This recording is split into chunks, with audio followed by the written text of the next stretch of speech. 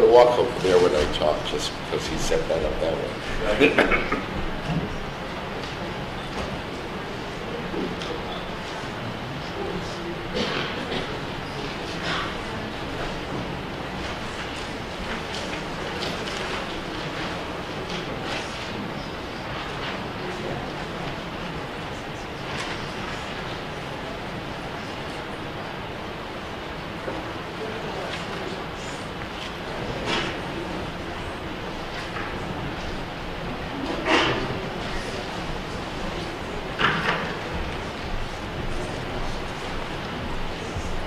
You ready?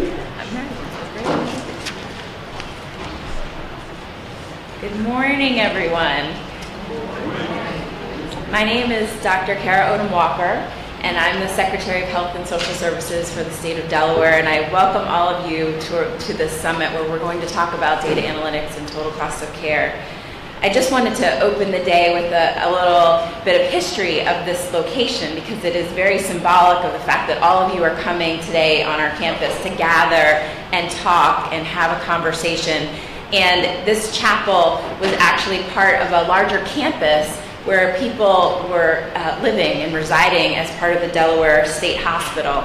My office actually is the old administration building, and I have this really interesting safe that's in my office where who knows what was in there, right? It, it, it, kept all kinds of secrets and probably some cash and a gun and who knows what kind of uh, medicines. But it was a, this was also a working chapel where staff and residents would come and worship and come together to find some peace. The campus probably had about 300 people living here at a time when we really didn't have uh, great medications for people suffering from mental illness, and we have made great strides in medicine today. Um, this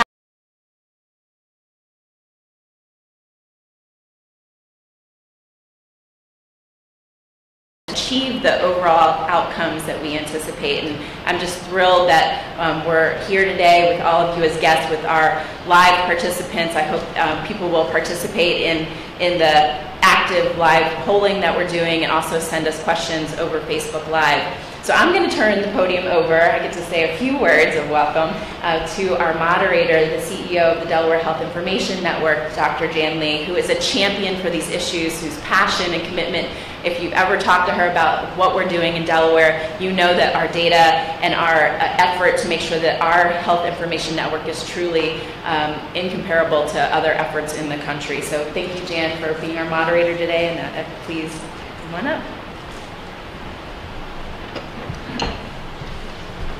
Thank you, Dr. Walker, and thank all of you for your attendance today and for our um, uh, attendees that are joining us online. We wel welcome all of you. Uh, you didn't come to hear me, so uh, my remarks will be quite brief and we will get right into the agenda of the day. First of all, I do want to call your attention to the screens that contain the polling information, and I'm just going to ask if anybody besides me has trouble reading it. In case you do, let me, um, let me tell you there are two ways that you can respond to the poll. So if you've got your smartphones, um, you can log in at pollev, P-O-L-L-E-V dot com slash our health DE, all smushed together. Or you can text. Uh, the text number is 22333 and the message is our health DE. And that will log you in and then you can respond to the poll A, B, or C. Did I get that right? Okay. Uh, so with that housekeeping out of the way, um, we are going to hear from a really remarkable set of uh, individuals today, and it's a real privilege for me to be able to introduce them. Uh, we will have a break midway through for lunch. It'll be sort of a networking lunch. Um, we'll want to, you know, corral the herd back in pretty promptly so that we can get started with our afternoon speakers and, and finish on time. Uh, so with no further ado, I would like to introduce our first speaker, uh, Dr. Robert Brook, Bob Brook, uh, holds the Distinguished Chair in Healthcare Services at the RAND Corporation. You might have heard of them. Uh, where he previously served for 19 years as Vice President and Director of RAND Health.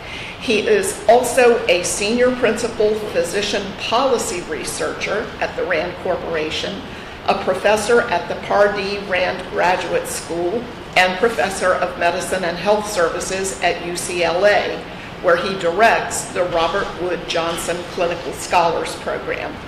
He led the Health and Quality Group on the $80 million health insurance experiment and was co-principal investigator on the health services utilization study. And he is going to speak to us this morning about the future, redefining healthcare systems and improving health. Thank you so much. Thank you very us. much. So when Carr asked me to come here to talk in Delaware, I looked at every state in the union in which I had slept in, and the only one I had not slept in was Delaware. So I decided this was an opportunity to finish my bucket list. But more important, um, I know of no other individual that has a moral compass as strong as Carr. And if there's anyone anywhere in the country to try to lead Delaware to a better place when it comes to health and healthcare, it clearly is her. And um, it's a privilege to try to see if I can help out. But I'm going to do it in a way that's very unorthodox. I'm not going to give you any really specific ways of dealing with cost. Um, there are lots of speakers that are going to do that following me. I'm going to give you some hints in how to do that by setting what you're going to do in the context of what's going to happen in the world. So if I can turn to the next, the first slide, there are three assumptions about the future that you ought to have right now. Next slide. Humans will exist. Um, you can all poll that question, whether you think that assumption is correct or not. Uh, number two is most cities won't be underwater. You can poll that question too. Three, that women will not be immortal, therefore men will still exist. Um, my belief is that at some point in time, we may have to face all three of those assumptions in a way that we may not really think that they are going to occur today. So let's go on. I'm going to assume, and I'm going to assume that one of the things you ought to do before you redesign the healthcare system in Delaware is every one of you, and I don't have any money in this book, any one of you ought to read this book called Sapiens, A Brief History of Humankind. If you like that book, read the next book called Homo Deus, uh, which is the future of the human beings. But you got to put what you're doing in some context. Why? I've been in the field for 50 years, and if you look at the amount of change that has occurred in 50 years, it's not clear what's going to occur first. That the coastal cities of the United States are going to be underwater, or we actually going to get doctors to wash their hands. It's not clear what's going to occur first. Next slide. Um, so here are the thoughts. No, go back one. Um, what Sapiens said is that we are becoming godlike. Uh, we're undecided about what to do, and we have no new vision. And this is the first state that I remember that signed the Constitution. That was a vision of the United States. What's the vision today? When you don't have a vision that unites people, you can become dangerous. And so one of the things that you could do over health and healthcare is provide a new vision. And wouldn't it be neat if one of the smallest states in the country could actually do that? Next slide. Now, what is Kara's role as head of the state health department, or whatever her title really is? So that's one way of looking at it out of a book about what is the function of a rabbi, or does she have some other function? Is this her role? Give you a second to read it.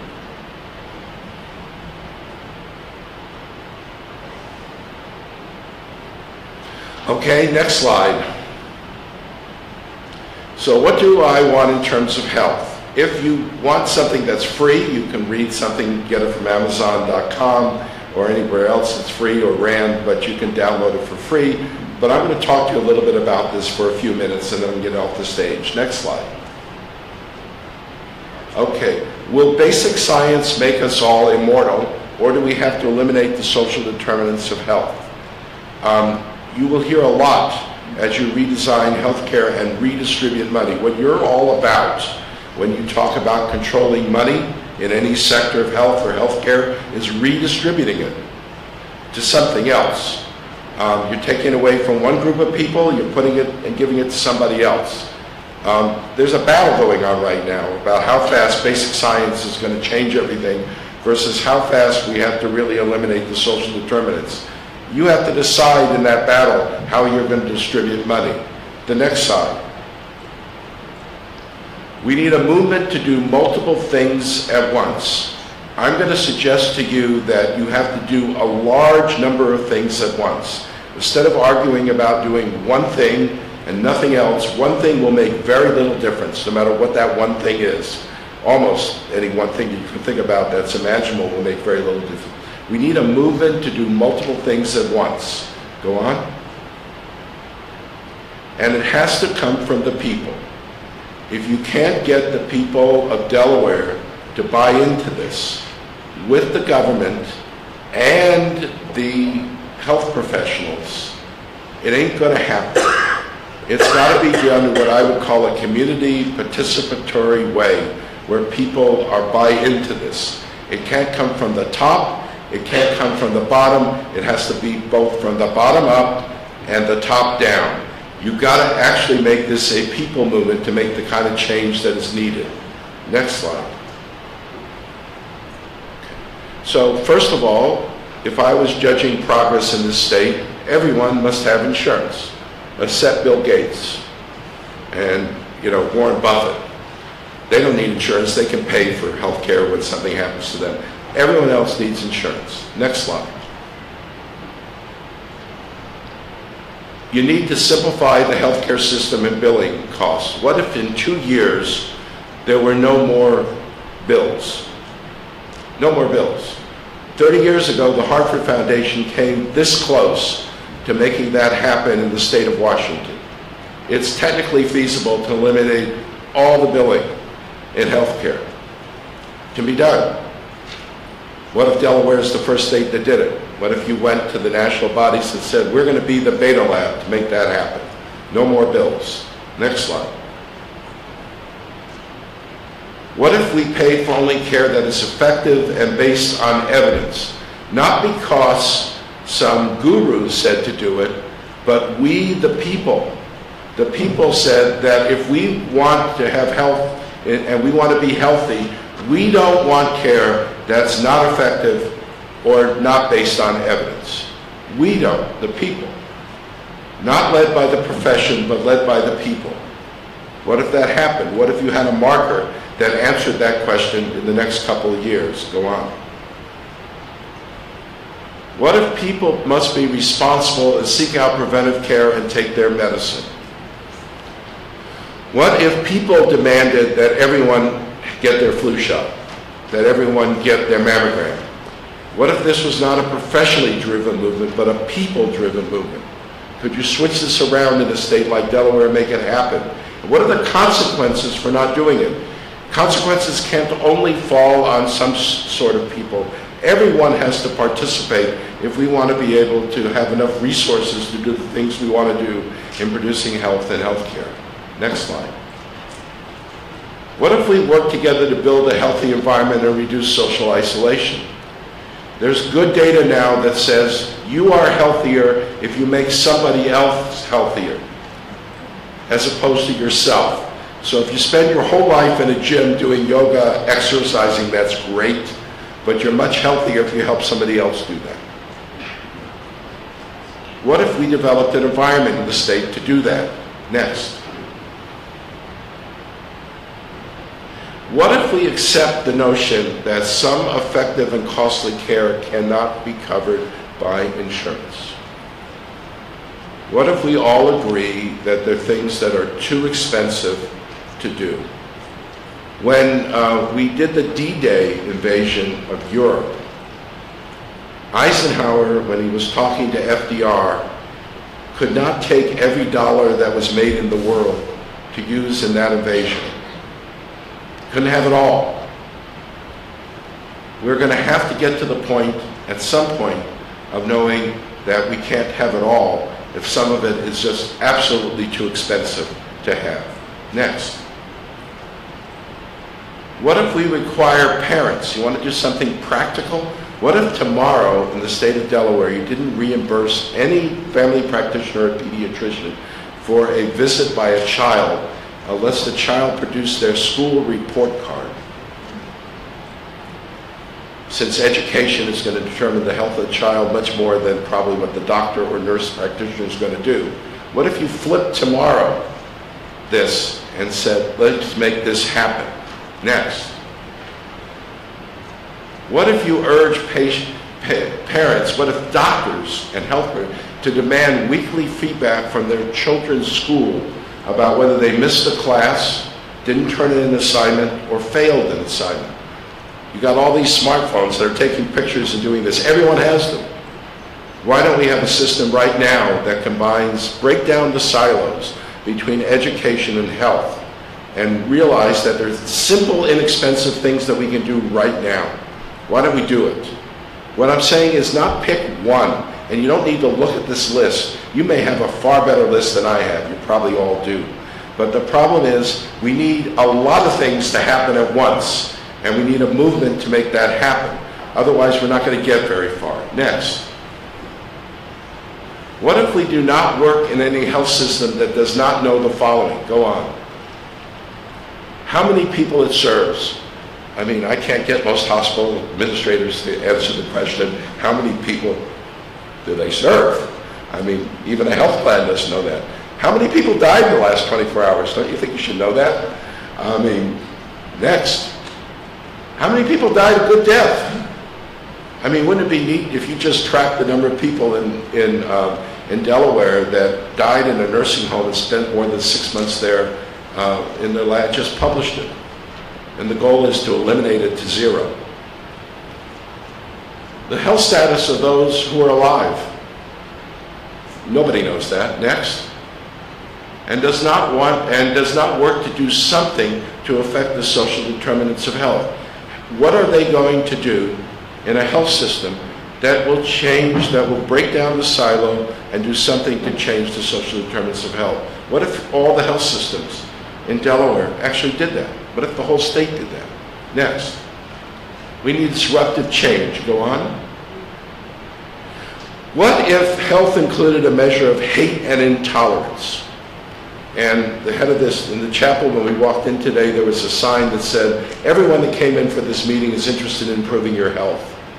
And you can't be intolerant of people by race, gender, sexual orientation, and be healthy.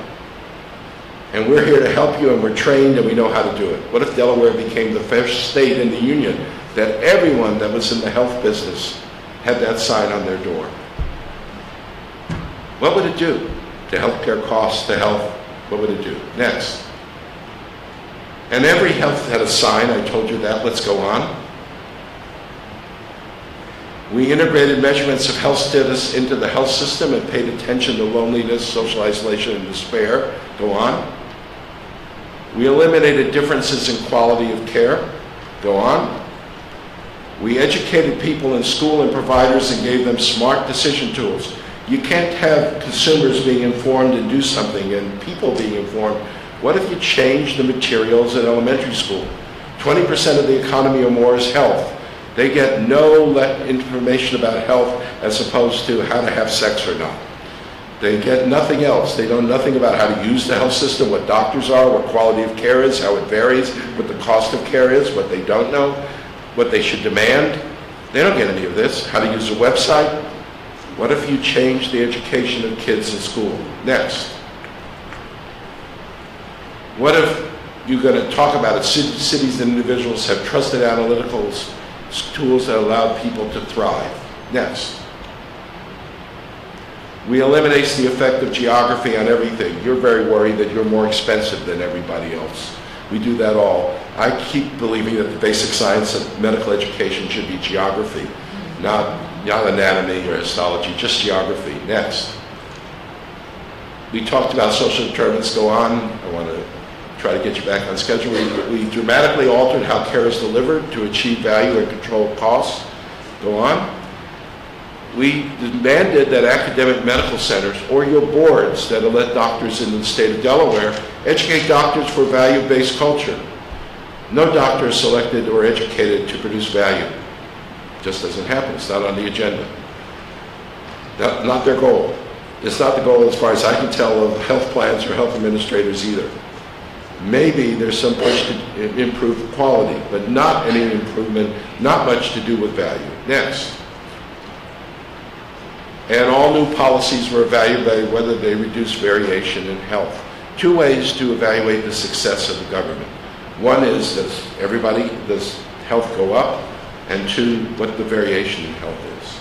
Now, keep one more slide, I think, and then we're finished. Uh, last but not least, be humble is not about you. Now, I did something that you're not, you know, I just tried to say to you, have a vision as you go about redistributing this money. I absolutely believe, otherwise I wouldn't be here, that what a small state in the United States, given our Constitution of the difference between states and the federal government and authority, that a small state is going to become the base site to do everything at once. Not just one thing. Why not Delaware? Why not this state as opposed to any other state that will say, how do I put this all together? And then I bet you, you could achieve national funding, not from the federal government, from a lot of wealthy people, foundations, and other places to actually try to do all this at once. But you're going to really have to work on how you deal with redistributing funds into a way that promotes all of this activity. It's not going to be easy, as you know. There are lots of speakers that are going to give you analytical tools to help you do it better and easier. But the goal is you need a vision at the front of what you're trying to accomplish. Um, I will end with one story. Um, I would like to know the proportion of all the stuff that we pay for that is totally wasted. What do I mean by waste? That is thrown into the garbage can and not used on patients. Just wasted. There's some data that suggests in the hospital that it may be up to 50% of everything is waste. That's a lot of money. So as you think about making the changes and using these tools, think about collecting information, doing things that might be very different from what can be done only with secondary data, but can be done if you all cooperate. Um, I'll end with one example about primary care. Um, nobody, um, Adam Smith did not decide that doctors needed to see patients one right after the other. Didn't, nobody said that they had to do that.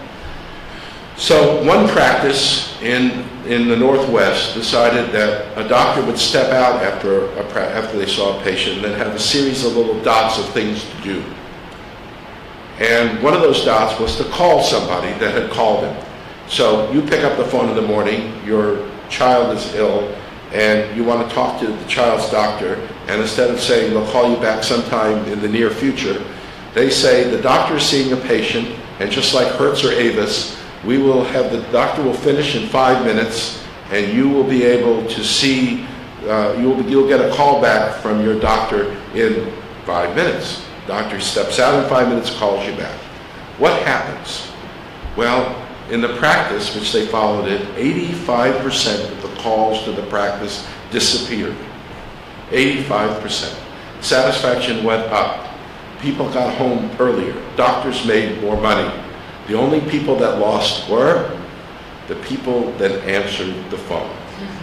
And they were let go.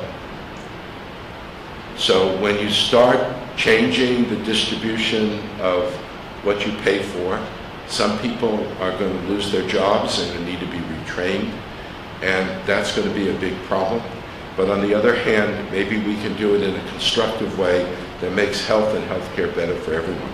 And I really believe that a small state like Delaware can actually lead the nation in being the place that everyone will visit in the world. Everyone will visit here in the world because you've got it right. So it was my pleasure coming here, and I'm really interested in listening to all the other people that will follow to help you actually do the nuts and bolts better than what I have told you how to do. Thank you. Don't sit down too quickly. We do want to open it for um, 10 to 15 minutes worth of Q&A. Uh, I will ask uh, that you please repeat the questions for the benefit of those that are listening live so that uh, they understand what question you're answering, but we throw it open to the audience. Yes. My question is, um, thanks, thanks so much for coming. Um, do you have any examples of other states in your experience that are doing portions of what you described today and that structure change? Are there examples of states that have pieces, pieces of what, what you described? Uh, That's a hard question because um, I would want to uh, answer that question by collecting some data. So the answer is, I have not done that in collecting that data to answer your question. There are states that have tried to um, uh, do um, things such as, let me, let me just stop there. The answer is, I don't think so. And I think that the problem has been that we haven't gotten the people really on the side of what we're trying to do. And so we have this fight between, um, um, let, us take the example of appropriateness of care. 30 years ago, we knew how to measure appropriateness of care, and we knew that a large percentage of care was equivocal. Um, I actually went before a number of national physician organizations with all the data and said, if you support a mechanism to make the health professionals accountable for the elimination of equivocal or inappropriate care, and I don't mean costly care, but care that the health benefit does not exceed the health risk, you can take control of the healthcare system. There'll be very little incentive for a lot of for-profit health plans to come into the game. Came very close for them to decide to do that. They decided not to do it. Um, maybe now, 20 years later, it's time to reopen those kinds of discussions and see if the people and the health professionals and people interested in health and healthcare can come together to do this. Um, I don't know anyone that's tried to deal with the hate and intolerance idea, which um, I think is the root cause. If you ask me what's going to make it likely that the United States will be a place that um, uh, we would want to all live, I think it's when people involved in health and healthcare are going to say that part of our job is to make us a more tolerant nation. I mean, um, some of the professional societies have spoken up recently, but um, I really do believe that one of the questions we ought to be doing is thinking, how do we do that? How do we educate everyone that is involved in patient care into increasing tolerance? So I'll leave it at that.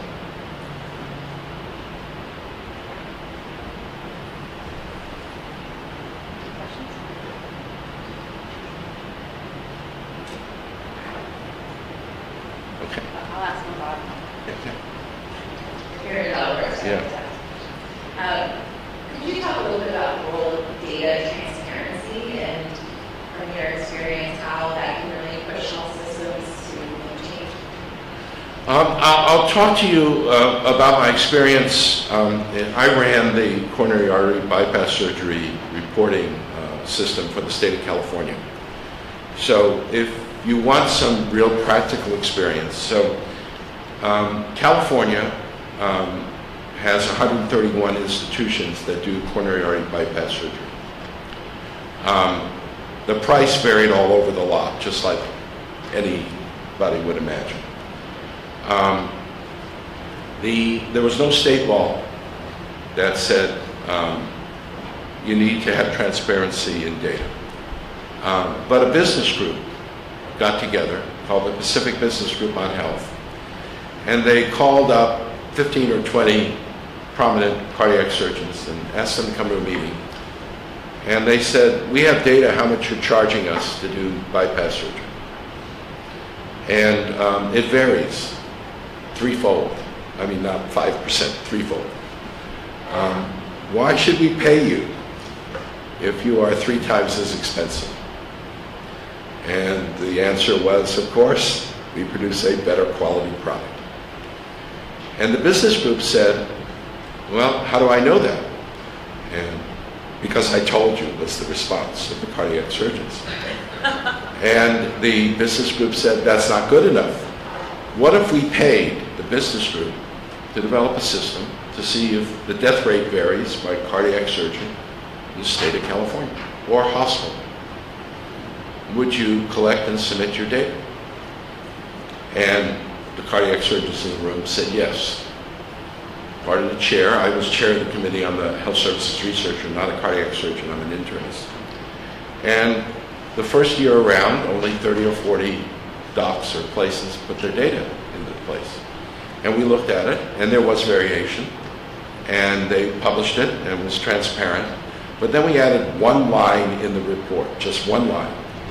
The line in the report that I suggested was, why don't we say that, yes, there's variation here, but we don't know anything about everyone else that hid their data, and we would encourage you to at least go to places where the data was transparent. Um, Within a year, everybody was playing in the data set. And the state eventually took it over. And right now in the state of California, there's absolutely no variation, none, in by hospital or virtually by doctor in the death rate from getting a coronary artery bypass surgery. That's a huge state. Uh, the death rate over 10 years fell by from three and a half or four percent or something to one and a half percent. And there's no variation. I talked about variation. There's none. So these things can be done. The problem is it's only one thing. It's not everything. We just did one thing. And we didn't ask the question of whether it's appropriate to do the coronary artery bypass surgery, which is a question that might be the first question you might be interested. in. So we didn't ask that question. And it took a lot of work to do one thing. The question for me is how do you get all of this together and do more than one thing if you're really going to change the system? So when you ask the question, individual states have done little things in transparency and data, and generally that has been well received. It's just that they've only done, you know, one thing at a time and not many things together. It's time for everyone to sort of do all of it together. Now, um, the, the other question is, what's, why don't doctors know when they go home how much they spent that day? I mean, when I go home after practicing a day in the clinic, why don't I know what I spent? Why don't, why don't I get any feedback about cost on a real-time basis? Can you develop really real-time systems to change the entire feedback mechanism in the state to do this? And can you do it in a way that I would call um, um, uh, um, gentle? Um, I, I'm for making this change occur, uh, but can't we figure out how to do it and treat each other with dignity and respect in doing it? That to me is the key here. Both people, treating people and treating health professionals and treating the government, government officials. And when we go into this ch- change mode, somebody has to be evil. And I don't think we can get anywhere if um, either the health professionals are evil, the hospital administrators are evil, the business people are evil, government's evil, people are evil, people, you know, just uh, want to be freeloaders, whatever the words are. We need to figure out a, a moral compass that gets us all together to do something. That to me is the key to making substantial change in what we're doing. I don't know whether that can happen. The other issue is to break down silos. Um, I, I do not believe that um, any longer we can separate out um, all the functions of government into the silos that we grew up with because they're so interrelated. We got to break them all down. And we got to say, we're really interested in making human beings thrive. That's the role of state government. How do we figure out how to do it with the budget that we have to make it happen? That's the goal. Other questions? Can you just comment a little bit more how you made the information public, um, your thoracic surgery registry? So you say you made it public, how did that happen? Uh, we published it. We put it on the website. State California put it on the website. Uh, we invited reporters to come in to the uh, uh, the meetings. The meetings were all public. Um, In California, all the meetings were public, Um, so all the discussions of the committee were public. We had a court reporter that, I'm sure nobody ever read it, but would sit there and, you know, spend eons co- copying every word down we said for a whole day meeting. And um, that's how we did it. What was the, um, what was the nature, especially early on, the pushback from large provider systems to the state politically in terms of disclosing that information? Was there any? Well, the, the pushback, um, it- what was really interesting is that, um, um, and maybe it's just cardiac surgeons, but the cardiac surgeons are so, um, uh, I mean, I, I guess if you go into a operating room and stop a person's heart, cut out a vessel and put a new vessel in, or uh, you got to have a lot of self-confidence. Uh, you can't be like an internist who's scared of blood. I mean, you really have to, you really have to have a, uh, an ego. And um, so, you know, once we got a few of them to agree that this was okay, they, they were, they were comfortable with it. And the really interesting question is that at the end, when we looked at the changes that people made, um, I'll give you one example that came up. Um, and, and these were open forums between the doctors and the committee. So one of the doctors got up and said, um, um, my death rate was higher because I operate on Jehovah Witnesses. And, and you know, they don't take blood. And so a couple of them died from low hemoglobins. And um, so my patients ought to be excluded and I should not get a bad star. And I didn't, I'm not a health services researcher, intern, I didn't know what to do with that. But on either side of me were two surgeons, and they looked at the surgeon who they knew, and they said straight out to him, well, I do the same thing. If you feel uncomfortable operating on Jehovah Witnesses, send them to me. I will be happy to do it, because I don't have that kind of problem. I know how to do much the surgery that is more bloodless than that. And that ended that conversation. Uh, so, but we did find things with the feedback that resulted us in changing things. There were legitimate reasons to change things, but it really was a, a combined activity to to make this happen.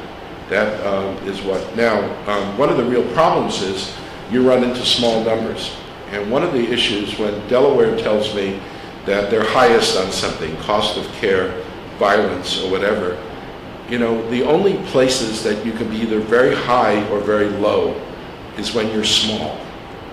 If you're a big state, a big area, you got to be very close to the mean. Just by math, you know, it's very rare that you find big places that are very deviant. Mathematically, you got to be at the top, you got to be small. And so one of the real questions is how to do with small numbers and how to make it fair for people that only operate on 25 or 30 people or have small, how do you how do you make it fair for small people? How do you do that? And that's, and that requires wisdom, thought, and some, you know, tough decisions. You can't be perfect. You're not going to be perfect. I think we have one more question over here, and then we'll have to move on.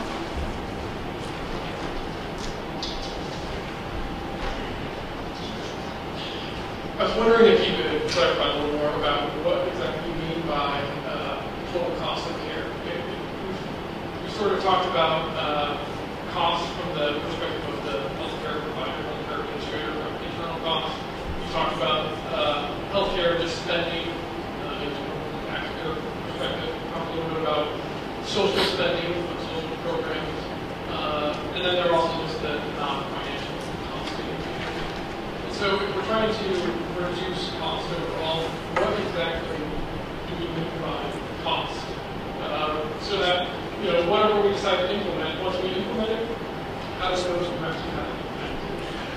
Well, you really, that's a good question, and the question is, what are you trying to do? If you're the Congressional Budget Office, you're trying to control expenditures, which is another concept of cost, different, means different than cost, expenditures on Medicaid and Medicare that the federal government expends. That's what you're trying to do. If you are um, a person, what would I, if I'm a person in Delaware, I want to have some money left over from the amount of money that I earn on my paycheck to do something other than pay for health care, I think. Um, If healthcare was the most effective, efficient thing, that may not be true. I might be willing to work my entire life just to pay for healthcare. But you probably want to have, do something else with the money. Um, As you know, that um, when your health premiums go up, um, the way you're, it's a trade-off for wages. So when an employer looks at trying to hire somebody, they don't ask the question, how much am I spending on health care versus wages? They ask the question, how much is the total package that I have to pay for this person? So as healthcare goes up, then then um, other things go down.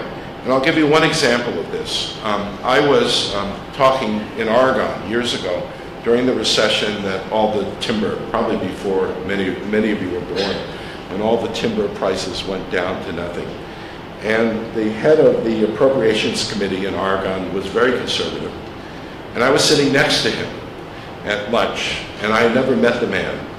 And I turned to him, and I was there to lead a conversation, and I said, I'm Robert Brook, I'm a physician. And we were eating steak. He took his steak knife, and he was going to stick it in my chest and started screaming at me. Uh, I mean, my first job was to actually take the knife from my jacket, and the second job was to sort of say, everyone was stunned, the room became quiet. Why did he do this?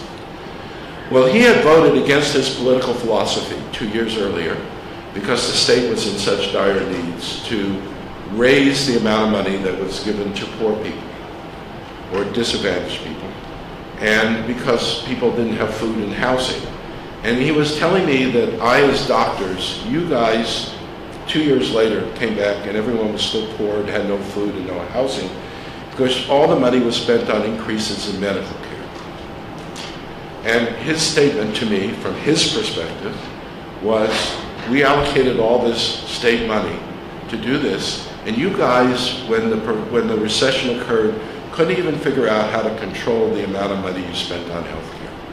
You just used it all up, and you didn't care whether all these other people, you know, didn't have housing or food or anything else. So if you ask me the question on how much money I would want to spend on health care, I think um, clearly we can't spend every dollar that we make in the United States on health care. And when I talk about total cost, I'd like to know all the money that's spent on health care. And I would like to know that it is in some relationship to um, what we want to do, what the opportunity costs are to do with it if we used it in some other way. I would be much happier spending more money on health care if people would convince me that all the money being spent on was extraordinarily effective and cost effective. So uh, before you get into the total cost issue, I think there's an enormous amount of room to, without worrying about eliminating costly care at this moment, to make the system efficient. But that's going to take time. It's going to take a number of years to make that happen. So that's how I'd answer the question. Um, Thank you, Dr. Brooks. We are going to have to move on. Uh.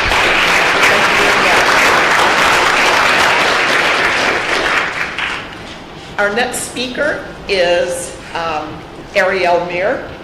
Uh, She's the Director of Communications at NUNA, and prior to joining NUNA, she was the Assistant Director of the Medicare Payment Advisory Commission, MedPAC. Uh, She led the commission's congressional liaison, external affairs, and press work. She was awarded the Presidential Management Fellowship in 2007 and served at the Centers for Medicare and Medicaid Services. Arielle earned her MPA from the Woodrow Wilson School of Public and International Affairs at Princeton University, and we're delighted to hear from her today on the vendor's view of data platforms and analytics. Welcome.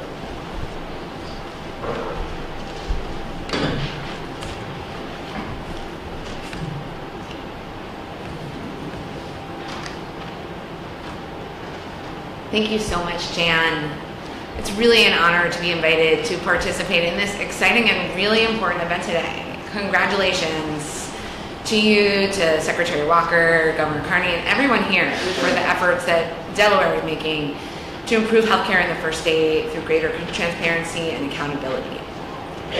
As a professional, I'm accustomed to these types of public forums. I spent most of a decade working for a commission that advises the US Congress on many of these same issues and deliberated on them in public. About two and a half years ago, I switched roles and became part of a technology team that works with public and private healthcare payers to help them leverage their data to improve care and enable greater accountability. Next slide. With my time, I want to do three things today. First, I want to do a quick introduction to our company, Nuna. Second, I'll share a case study with you of some work that Nuna did for the federal government, for CMS, to bring data together to create a global view of healthcare in the Medicaid program. And last, I'll offer a few reflections on how these types of data efforts can be implemented to create value for all stakeholders involved. Next slide. So Nuna was founded by Jini Kim, an alumna of Google and one of the tech folks who was brought in to fix healthcare.gov when it was on fire and the website wasn't working. Remember that? Um, she's there in the red as a little girl. And um, Jini's brother Kimo, who's in the blue shirt, her younger brother, he has struggled with autism and epilepsy his entire life since he was a child. And um, his condition is so severe, he's almost completely nonverbal. The only words that Kimo has are the Korean words for mom and dad and sister, and the Korean word for sister is Nuna. That's how our company got its name. Jini's family's experiences in the healthcare system were tumultuous. It took 20 years to get his epilepsy under control. At nine years old, Jini signed, came on up for Medicaid. Her parents didn't speak English, they were immigrants in this country.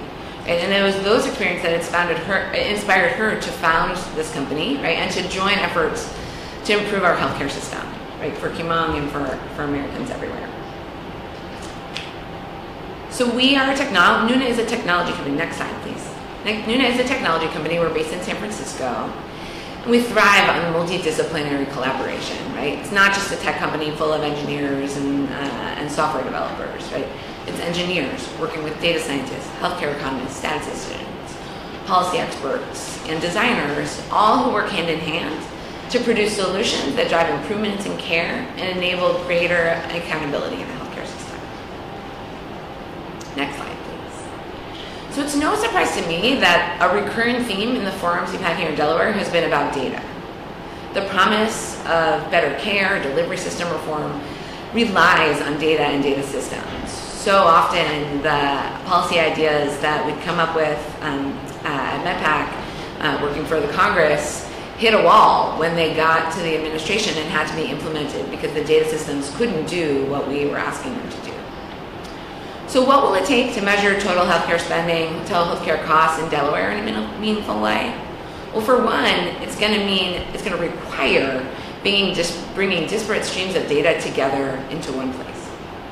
And to shed light on some of the ways this effort could be set on the right path, I want to share a case study, our experience, Nuna's experience, building the first ever standardized data warehouse for the Medicaid program. So why, why is Medicaid a good analogy for Delaware, right? So Delaware's a small state, but despite that, there's a variety of healthcare payers. You have commercial carriers, you have the state and the state employee programs, Medicare, Medicaid, VA, etc. Right? And each of those entities has their own data, different formats, different fields, different time frames. Right? And similarly, Medicaid is not monolithic. Right? Unlike fee-for-service Medicare, which is administered in a relatively uniform way across the country, Medicaid is effectively 56 different programs. I don't know if you have 56 different payers in Delaware, but uh, in Medicaid it's 56, right, with different eligibility rules, different data systems. And in the 50 years since the Medicaid program was founded, it had never had a standardized data system.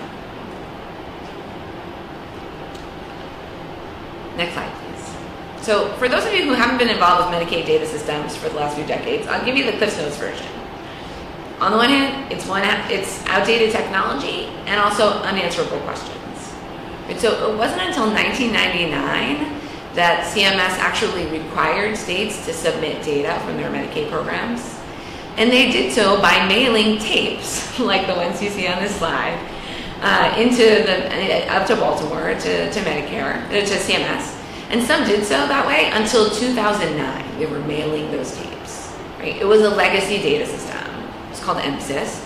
And it was built, like much of the world's enterprise software, to be run on mainframes, like these massive, really expensive computers, programmed with language that was developed in the 1960s. And, right, not only does that, I mean, back at my office in San Francisco, like old technology just like offends my colleagues, right? But it's not just that it's not, you know, it's not new and hip, right? The outdated technology makes everything slower. Transmitting the data, loading the data was slow, right? Which made it nearly impossible to identify and address data quality issues in any reasonable time frame. And of course, it delayed the it delayed using the data for analytics. Right? So you couldn't monitor the program in any real-time manner. Forget about total cost of care.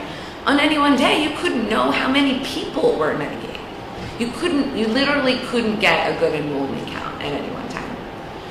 One of my favorite anecdotes, oh, we're still on the, on the previous slide, I'm sorry. One of my favorite anecdotes uh, comes from a friend who was the chief medical officer for Medicaid down at CMS. And when he started the job in 2012, he asked his staff, can you give me a list on the top 10 diagnoses among Medicaid beneficiaries by frequency and by expenditure, right? Pretty simple, you know, pretty simple question. Start to understand what kinds of challenges uh, he had to take on. And basically they said no, right? They had some data, but it was from 2007. That was the freshest data. And it was for fee-for-service Medicaid only, right? So, so effectively unanswerable questions. Next slide, please. So enter Nuna, right? That's Jini and Kimo uh, this year in our offices. Um, so Nuna on, took on the, a renewed Medicaid data platform project called TMSIS, the Transformed MSIS. We started in 2014. And now it has almost 95% of Medicaid covered lives in it. And it's on its way. It's not perfect, right? But it's on its way to being a foundation for improvements in how care is delivered in Medicaid. Next slide, please. So what matters in a data platform when you're bringing together these disparate streams of data? What are the characteristics of TMSIS that could be useful in guiding Delaware's process? So I'm going to speak to these qualities um, on the next several slides, right? Security, its power and flexibility, its uh, sustainable costs, as well as sensitivity to the processes that are already in place and the stakeholders that are in place. Next slide. So corner system of a powerful data system is the technology used to build and to host it. So one of the innovations that we brought to this TMSIS project is the use of the consumer cloud, cloud um, uh, for hosting the system, as CMS now does through Amazon Web Services, right? So basically, the concept of the cloud, if you don't know already, is that instead of buying and storing your data on our own computers, we basically rent out other people's really powerful computers only when we need it. So how does this benefit the Medicaid program? Well, one, the cloud is flexible, right? So uh, for, over the course of any one month, there are points in time when you need a lot of computing power. When we bring the data in, when you're, um, when someone does a massive query of data, you might want hundreds of CPUs for that work, and the rest of the time it's idle. In an old enterprise data center, you used to wait weeks to expand, expand your cluster's capacity on the racks, like these little racks of servers. Right now, you can expand the capacity in seconds and expand it only for the time you need it. Right? And the faster that the data is processed, the faster the data is available for use and analysis. Right. So this stuff really matters in terms of um, the, uh, our ability to get the data and use it for the for the mission that we have. In a traditional data center, you pay based on the maximum computing power that you need, right? And so you estimate your peak load, and then you pay for that for the entire year. In a cloud-based system, you pay only for what you use, which ends up being less expensive for more power when you. Along with power, along with power and efficiency, the cloud is better protected, right? No single project, no single data warehouse will ever invest the millions of dollars that Google or Amazon or Microsoft does in their data centers on security alone, right? From the armed guards all the way down to the auditing controls, right? And in a system like this, everyone can leverage and benefit from the economies of scale, right, of these massive shared infrastructure. Next slide. So as challenging as the technology piece is, right, and it's not, it's not simple, um, as important to the success of a data platform and bringing the data together from disparate sources is what is done to co- coordinate people and processes. Right, the task of aggregating, standardizing data involves a huge, it affects a huge number of individuals and processes, right, and a fair number of pain points. all the different payers, all their different schedules, all their different systems. So I want to share with you a few examples, some of the tools that we use to build TMSIS to support this element of the project, right? To really enable the stakeholders to do what they needed to do to be successful. Right, so next slide, please. So uh, I'll talk first about file submission, right? Prior to TMSIS, data submissions were tracked literally by hand. So if a state wanted to answer the simple question of whether their files that they had submitted had been received and successfully processed, they needed to call someone on the phone or send an email or wait for periodic status reports. Right now, states, so our, our stakeholders submitting the data and CMS always know where the data is. They have a single source of truth, this operations dashboard, this is one of the views, um, that shows the status of the data as soon as the files have been uploaded, right? So it's like tracking a package that you order uh, and is being delivered to your house by UPS. The next screenshot, next slide please, shows how you can drill down within an operations dashboard like this to debug the data errors, right? So the red highlighted field shows where there's an error occurred, and you can even see the raw data that was submitted that caused the problem. Right? Prior to this, the feedback loop was way too slow. Right? In order to get an analyst to validate the data from the state, it took months. And by the time the states learned of the details of what the problem was, they'd already moved on to submitting the next quarter's data. Right? So the resources it took to get the data in the form that you needed to do anything with it were tremendous. Right? So now states and CMS can discuss and correct problems in days instead of months. Right? With data quality reports and dashboards like this one, both states and CMS can see which data rules were triggered and which rec- records were causing problems. On this side, I listed just a handful of features that we implemented to improve workflow and collaboration, right? As I said, this means bringing together a huge number of stakeholders, right, who all have their particular ways of doing something. Right? Coordinating across across a range of entities like this requires culture change, right? Each entity wants to go at their own pace in their own way, right? And you can use technology to support this kind of change and to invest in creating new kinds of relationships and building trust among the stakeholders who are coming together to be part of this project. Right? And it's this kind of collaboration that increases transparency in the process, not just the data. Right? And it can make implementation of various program design elements easier. So, for example, uh, in working on TMSIS, we used um, Confluence, which is kind of a, like a Wikipedia page, an internal Wikipedia page, right, that contains all of the information about the project that anyone can access at any time, right? So uh, on our Wikipedia page, on our wiki page for TMSIS, there's the data dictionary, right? So everyone can know at any time, um, you know, all the different specifications for each data field, right? In Delaware, you could use a similar um, a similar concept to um, increase transparency among stakeholders about the different specifications for a total cost of care measure, right? How the risk adjustment might be done is about price standardization, right? Anything that might be complicated or controversial or you know require some time for people to digest. Placing it in a central location um, and facilitating tools so that people can ask questions and communicate um, can really uh, can really drive the process forward in a, in a productive way. Next slide. So what does all this technology and collaboration tools and dashboards operations dashboards get you? Well once you've assembled the data right now in a much in a much quicker manner right? It can be used to understand to monitor and uh, um, and um, and to be applied to the policies and programs that you have to improve care. Right? At a most basic level it can be used to create analytic reports. I realize these are small. Right? These are some of the basic dashboards we built for cms that were just about enrollment. Right? Trends in uh, different demographic groups uh, by, um, by delivery system, managed care, etc. Right? And there's so many more ways you could slice this data in a basic way. You looking at utilization, care pathways, quality, and more. Right? And these, um, you know, these these kinds of dashboards can be the basis for um, for public reporting and transparency in the state, as well as to help lay the foundations for future payment reforms to drive greater accountability in the system. Right? And with timely, cleaner data, the systems can go well beyond these basic analytics, right? To do predictive analytics, machine learning, to start to anticipate before things happen, whether it's program integrity, whether it's quality issues.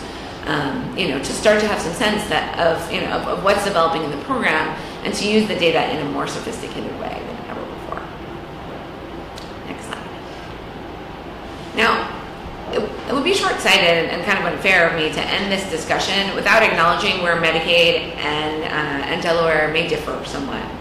Right, so for one, the governance structure is different. CMS was able to corral all the parties in part due to the fact that they had some statutory authority to enable them to require the compliance with the structure and the process of the data submission, right? They could impose a common data dictionary, right, which was one of the keys to having a unified data structure.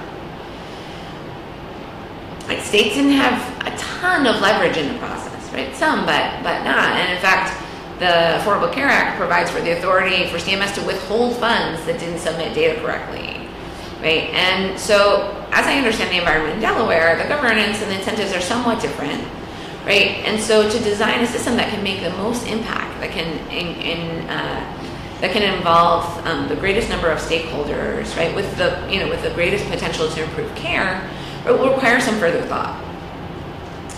So, next slide, thanks. Um, what I'll offer as one way of thinking about this challenge is a reflection, both John from Nuna's work on Medicaid, as well as some of the work that our office has done actually with, um, with Craig Jones's colleagues at ONC. And that's about changing our mindset around data warehouses, right? So, uh, so from moving from this idea of a data vault, right, to real value. Right, so the question of how do we avoid creating yesterday's all, all payer claims data? I almost said your mother's all payer, payer claims data, but now that I'm a mom, I don't like to use those terms. But yesterday's all payer claims data, right, or data vault, in which data goes in, but then never again sees the light of day, right? Um, I believe that this is closely linked with how we think about the stakeholders who submit data to the systems. What if, next slide please. What if the stakeholders who traditionally sit, submit data to these kinds of repositories, storing cross-pay or even cross-provider claims data, are not just seen as data producers, but also data consumers, right? Not simply parties to convince or coerce to share their data, but stakeholders who stand to benefit from a collective effort to aggregate, organize, and make this data valuable for improving healthcare in Delaware. Right? Just like when the states moved over to a new Medicaid data system, right, there's going to be costs to conforming to the new structures and systems that will be implemented in Delaware. And if the benefit is all a one-way street, that kind of cooperation may feel out of reach, right? Yet the promise of a shared resource, right, in which all can benefit, stakeholders and then, you know, and then of course patients down down the line, with access to billing data, potentially other forms of data down the line, right, may make the cost of participation seem less onerous, right? If there's a benefit, it's a lot easier to show up and do something different. So along those lines, I'll share one last example from Medicaid. Actually, I spent most of this talk focusing on TMSIS, right, so the data platform that holds, among other things, the claims and encounter data for Medicaid. But TMSIS isn't the whole story either. With the Medicaid data, uh, uh, the real value of a system like TMSIS is actually borne out when it's brought to life for all the stakeholders and combined with other types of data, so program data, financial data, et cetera. Right? And the vision for that is being built out in a, in a broader data warehouse that we're also helping to build at CMS called the Medicaid and CHIP Business Information Solution, or MACBIS. Love their acronyms there. Right? And it's an enterprise resource, a shared resource that over time will benefit not just CMS who built the system, but states and other authorized data users. Right? When you build systems like this, right, you can benefit from modern software for data provisioning and managing and management, right, which can make the analytics more robust, way faster, and less expensive for everyone involved. So I'll end there um, on a note of optimism, right? It's, it's clear Delaware is on the right track, right? With thoughtful policy leadership, a strong foundation with the Delaware Health Information Network, and with the right technology and tools built around the needs of all the stakeholders involved, I, I believe Delaware will be well positioned to make good on its goals. Thank you.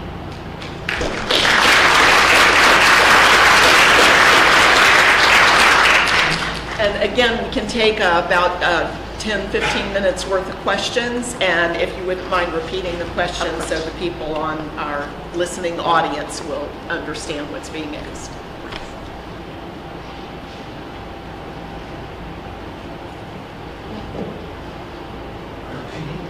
Maybe expand a little on some of the use cases at CMS, how, how they're going to go about using this system, and in particular how they envision learning networks, if you will, that translate what they're finding back to states. How's that Yeah, absolutely. So, um, I mean, as I said, some of the, you know, when we when we took on some of the work of building the analytic dashboards for CMS, we expected things that were pretty sophisticated. And sitting down with the staff, you know, initially, like their first questions were really about enrollment, right? Trying to understand um, the, the diversity in the types of individuals enrolled in Medicaid, the participation in managed care, income levels, just to really start to understand, you know, to answer like some of the most basic questions uh, that they use when they develop uh, rulemaking, um, that they use to guide their quality improvement efforts, right? So, um, you know, because CMS has this kind of governing view, but um, you know, all of the implementation happens in, in conjunction with the states. Um, you know, you know, often what they do is the framework to enable states to move forward. Um, the data uh, can also be used to inform some of the state innovation models, right? So um, there's a lot of customers inside CMS, um, you know, both in the kind of Medicaid program and policy world, um, the quality space in, in CCSQ, as well as um, at, at CMMI to start to answer these questions. Um, and then um, it is, um, I think, the we are, you know, it is just the beginning of the collaboration of, you know, making this data useful for, for states and using it collaboratively. I think there's um, a little bit of fear and hesitation that uh, about the way CMS will use the data to compare states to one another and um, and what that's uh, what that's going to look like for them. Um, but I think uh, the the promise of having this global view and being able to answer some of the really important questions that we've never been able to answer is you know is too great to stop to you know stop and not go forward. And then of course there's um, uh, there's a you know much broader community of um, of Medicaid stakeholders, researchers, commissions. Um, uh, the Congress, of course, who want to use this data to guide their policymaking, right? So um, the Medicaid and CHIP payment and um, Access Commission, uh, they are scrambling to get their hands on them. We had um, uh, we had Ben Sommers, who's a, a physician researcher at Harvard, uh, come to speak at our company a couple of months ago, and he told us all about his Medicaid data research showing the impact of um, the Medicaid expansions on you know, all manner of utilization, health outcomes, et cetera, and none of it actually uses Medicaid data. It's all survey data that's gathered externally. Um, and so it's, um, it's really exciting to think about um, how, uh, how this data can be used. So let me follow a little bit different look at, it. um, that all makes sense, and it sounds like it's very early, but data use culture around this. Yeah.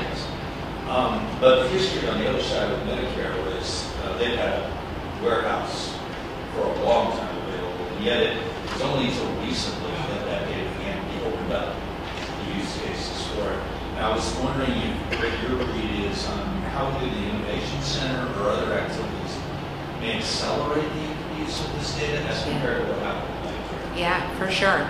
Um, well, I really have to applaud CMS. They've, you know, made some great strides, both in terms of, you know, making public, you know, public use files available, dashboards that people can access, um, but also in the last, say, it's like two, three years, um, they've opened up uh, a, a program called the Virtual Research Data Center, which is um, uh, just a, a component of their kind of data provisioning program right, that enables um, researchers as well as innovators and other stakeholders um, to uh, kind of uh, log in remotely to the claims data repositories and the repositories of other data they have that now contains old Medicaid data, which is only so so useful, all the Medicare data, the beneficiary surveys, right? And so as soon as the TMSIS data, as soon as the Medicaid data is deemed ready to go into the research warehouse, it'll be there, which I think will tremendously accelerate um, uh, um, external uh, external stakeholders, you know, access to that data and the usefulness of that data. The other opportunity I think there still is um, is with the qual- with the qualified entities program, right? So right now, the Qualified Entities Program provides Medicare data to entities around the country who have non-Medicare data for the purpose of combining it for, um, you know, for performance improvement efforts. And right now, the law allows for uh, provides the secretary authority to put the Medicaid data in the um, uh, in uh, give the Medicaid data to the QEs, but um, so far in the rulemaking, the secretary hasn't yet taken that step. So I think um, you know between the the, VR, the VRDC, the Virtual Research Data Center, and the QE program, it'll you know it'll be another big step. Um, but you know I think there's still more potential even beyond that to make um, you know the process of accessing de-identified data much less onerous, right? I mean you do want to um, you know create the safeguards to um, protect beneficiary privacy, ensure and you know making sure the data is being used in an appropriate way. Um, but there's still still more work that we can do done. Hi, I have a question about, uh, in building a data warehouse of this magnitude, and, and I know it's not exactly identical down to a small state, but thinking about data integrity and the resources you need to put against that, um, and uh, especially when you drill down and you get uh, data that's identifiable to stakeholders, there must be some sort of appeal and review process in place, and that just seems daunting in terms of an annual effort in order to go through that process and maintain the integrity and the faith in the data that's being presented. Yeah, for certain. So, I mean, I think there's two, um, uh, there's a couple of different, uh, a couple of different kind of models for, you know, for thinking about that. So, you know, and, and um, uh, models that are being used right now in, in Medicare. So through the Qualified Entities Program, which I said, you know, gives Medicare data to combine with other data for the purpose of, uh, performance measurement, CMS actually requires the qualified entities to create a process for, you know, for review and appeal um, of the data. So, you know, if a performance score, you're a physician and a performance score, uh, you know, on a certain quality metric or a cost metric was attributed to you and you saw and said that doesn't look right, right, that there's a process for dealing with that. Um, at the, um, in the, um, in the virtual research data center, um, there's some checks against small numbers, right? So you can't, you don't, you can't pull out raw data, you know, um, at the, um, you know, the, where the cell sizes are too small. Again, to ensure that the people using the data are doing analysis on a sufficiently, you know, sufficiently large side to provide meaningful, meaningful results.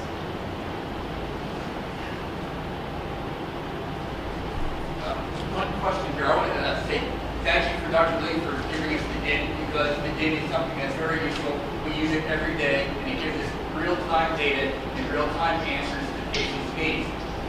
Data that I'm seeing here, it seems like there's going to be a up to three months delay because they're using claims data as opposed to using medical record data that's instantaneous and done on a daily basis. So every day when somebody comes in and gets a radiology study in another area, I have to find out what they've done elsewhere. I can reliably go to the DHIN, get real-time information, not have to wait for three months, because in three months, a patient can die. So when you look at how you're constructing your system here, you really need real-time data, not three-month billing data. That delay, it says, I mean, you're talking about uh, the real-time feedback. It might be real-time feedback, but it's not real-time data, and we need that real-time data. Thank you. I forgot to repeat the questions, but I will this time. Um, the the question asker, you know, raised think the real uh, the real concern with using claims data to start to answer some of these questions about care um, that could uh, that that could or should otherwise be answered using uh, using clinical data. And um, and I, I think you're absolutely right. Right, as as as a physician, you shouldn't have to wait three months to know what happened to your, you know, to know whether your patient was admitted to the hospital, right? And in a, um, and in a, you know, in the, the kind of ideal data world, you have both, right? That the, you know, that there's, the claims data is useful for a lot of different things, for tracking spending, for, um, you know, for kind of population-wide analysis, um, and um, and the clinical data answers questions that it doesn't, right? So um, I I, I uh, put forward this example of the um, of the Medicaid data warehouse as a, you know as um, an example of something that uh, you know, a, a, a way to think about how the payer data could be brought together in Delaware, but not for sure, not as a replacement, right, as a, as a supplement to the clinical data.